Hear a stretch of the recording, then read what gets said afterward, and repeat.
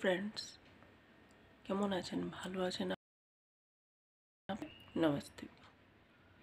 বলছিলাম, সংসারে এ পৃথিবীর বুকে হিট কেউ নাই, কিছু হতেও পারবে না। না পা হতে পারবে, না আলতা হতে পারবে, না নপুর হতে পারবে। সবই তো যেতে হবে, চিরস্থায়ী তো কিছু না, ক্ষণস্থায়ী। তো হিট বলতে একজনই আছেন, যাকে ফলো করুন আপনারা, ভালো হবে। পরমাত্মা কি? পরমাত্মা শিব শঙ্করকে।